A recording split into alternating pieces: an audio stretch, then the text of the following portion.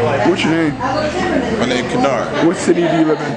Cleveland Heights. Cleveland Heights. So the question is today, should East Cleveland merge with Cleveland? I believe not. I think they need to uh, keep the heritage of the city, Rockefeller City. It's a historic city. So why uh, get rid of a historic city to merge with uh, Cleveland? So you're, you're you're not in favor of the merger? No, I'm not in favor. Okay, thank you.